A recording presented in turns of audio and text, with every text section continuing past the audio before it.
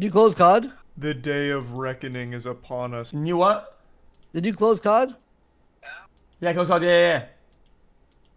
The Armageddon the Bible warned us about has finally the come true. Lands. Go. The demon of Dogecoin has taken over Twitter. So who's the guy who does like the um, he's like the, already um, made some- like the video where he goes on campus? He asks questions to people. I forgot his name. some massive changes Found it. internally. Oh, there's a new it video. took only a matter of minutes with Elon Musk at the top of the Twitter food chain for him to let WrestleMania run wild and start firing people. Oh my God, my including ears. Oh my God, I almost died. top Twitter executives, Okay. the CEO, the CFO, and the chief legal officer. All of them were immediately just let go by Musk. Now, of course, they're not leaving without some Wait, who left? Wait, the three top Twitter executives whom Elon Musk fired Thursday will walk out the door with about 187 million of Musk money. Uh, former CEO, CFO, and um, CLO. compensation. They're getting a lot of money in this firing, but even still, he just took three of the top executives and just said, "Pack your bags, you're, you're going home." But before I get into those Am I supposed to feel bad for like near billionaires, boys? Am I supposed to feel bad? Is this the time or what? changes, I want to go over the reception to this news because I've already seen some No? Okay, wacky tantrums being thrown about it, and overall, people are more divided than my butt cheeks on how to feel about all this. So I want to give my perspective right away. I'll toss my take out there. I think this is just going to be a huge nothing burger that most people are going to forget about in two weeks because there's not going to be any meaningful, noticeable difference in the platform itself with Elon Musk at the helm. They don't even I know think the anyway. problem with Twitter What's isn't necessarily a platform problem; it's a people problem. It's just fucking dumb, stupid idiots on there, and since everyone has a voice that's amplified because of just how big Twitter is, those things gain steam, gain traction, and then you have people always arguing with each other over the stupidest shit. Biff Cheeseburger over here is talking about how women are sexually abused because it's their own fault for what they're wearing, and then that ends in a, like a giant viral conflict where people are somehow debating this as if it was ever even like a legitimate argument in the first place, besides just the incoherent ramblings of a raving lunatic. So I don't even think the Twitter, the biggest problem with Twitter is with the platform itself. It really feels to me like the main issue is just the people. That's about hardware. Twitter is a more toxic place than Chernobyl. Twitter is like the modern age equivalent of using asbestos in everyday life, just slowly killing your brain cells instead. It's just awful.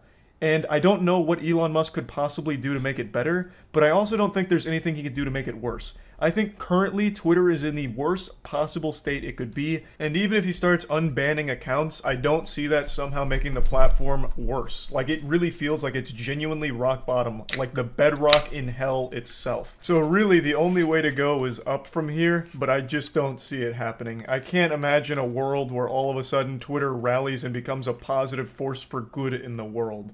But maybe I'll be proven wrong. Maybe Elon Musk has some grand vision for the platform. Wait, you think that it's bad that he fired them, or what? see. Though I highly doubt that he has any plan at all besides he thought it'd be a fun joke and he wipes his ass with $40 billion, so why not buy it? So, anyway, that's my whole take on it. Oh, I will say, though, as I've been very upfront in the past, I'm not a huge Elon Musk fan. I'm not like a diehard Musketeer or whatever the super fans call themselves, or the cult like following he has with crypto bros who huff copium every single day, replying to all of his tweets, praying that he'll at least give them a crumb of attention to try and save their dying shitcoin. Yeah, overall, I'm just not really an Elon Musk supporter, and even I don't think this is going to somehow plummet Twitter into an even deeper shithole status. But some people really seem to think so. I won't go through a ton of them. In fact, I really only want to look at one. Most of the responses were very pretentious and exaggerated about how this is like going to ruin the entirety of mm-hmm. society. This is going to plunge us into a deeper divide, and everything's ruined now that Elon Musk has Twitter. Chat, but the chat. one I want to focus Chat.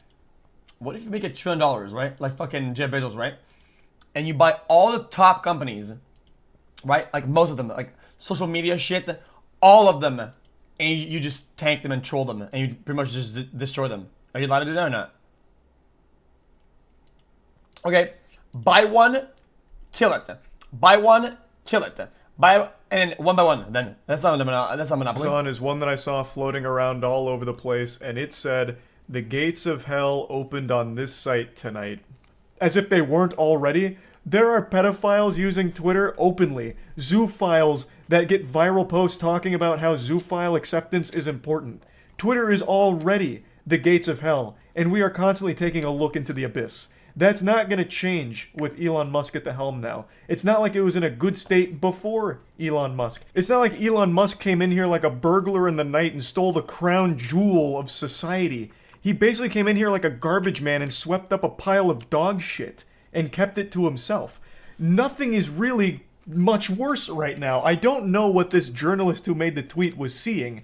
I, I don't know where they were that all of a sudden Elon Musk taking over suddenly sprung forth all kinds of foul miasma that just spread throughout all of Twitter like a plague. It's exactly the fucking same. The only thing that has changed is internally, and they are big internal changes. By firing these top executives, he's sending a message that he's Step just gonna one. run this shit with an Twitter. iron fist. Step two. And he's been very Delete it. adamant about Problem? making Twitter TF? more welcoming to free speech and less censorship.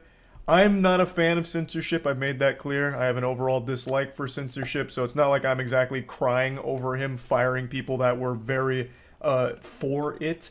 So him firing these people doesn't make me upset. It seems to have made other people upset, which surprises me considering most people don't like the state of Twitter pre Musk anyway.